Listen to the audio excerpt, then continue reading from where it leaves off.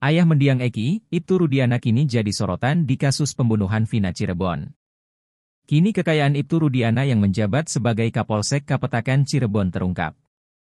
Tercatat, Ibtu Rudiana terakhir melaporkan LHKPN adalah pada 15 Januari 2024 untuk periode 2023, saat ia menjabat Kapolsek Kesambi.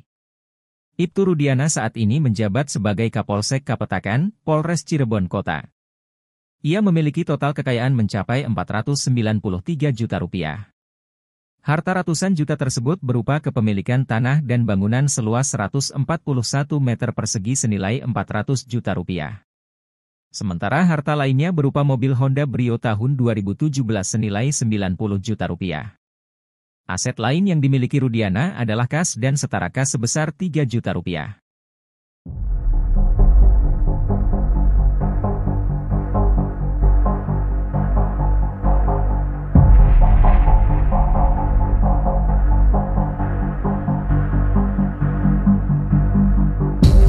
Download Tribun X sekarang.